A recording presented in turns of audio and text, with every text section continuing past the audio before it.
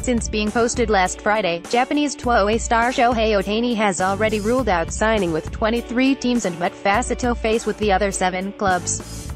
Those seven clubs, in alphabetical order Angels, Cubs, Dodgers, Giants, Mariners, Padres, and Rangers.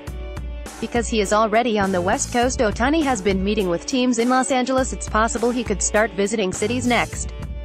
Or maybe he'll make his decision based on the in-person presentations only. Either way, Ohtani has until 11.59 p.m. ET on December 22 to sign. Given how quickly Ohtani eliminated East Coast teams and met face-to-face with the other seven teams, some people involved in the process think his decision has already been made long before he was actually posted, writes Ken Rosenthal of The Athletic. Rosenthal's article is subscriber-only, though the most important part is above the paywall calling Shohei Ohtani's rapid-fire schedule eyewash would be premature since no one knows what the Japanese star actually is thinking. But predictably, some people in baseball are suspicious of the recruitment process, fearing Ohtani, 23, already had made up his mind always were going to be suspicious, no matter what ground rules Ohtani and his representatives at CAA established, no matter what the outcome, teams are upset they are unable to dictate the terms of a player's employment. News at 11. Never mind that teams routinely engage many other clubs in trade talks to create leverage, even though they have no interest in trading with some of those teams given the available returns. On one hand, these gripes are understandable.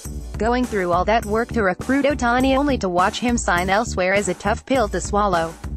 Remember, Ohtani asked the 30 clubs to write what was essentially a recruiting letter, and now seven clubs traveled to Los Angeles to meet with him face-to-face. Some teams are even trading prospects for more international bonus money in what amounts to good faith. This is the thing though Ohtani has every right to go about this process however he wants. He's the one making a major life change here, moving halfway around the world and stepping into an entirely new culture. Why did Ohtani ask all 30 teams to write the recruiting letter if he already made up his mind?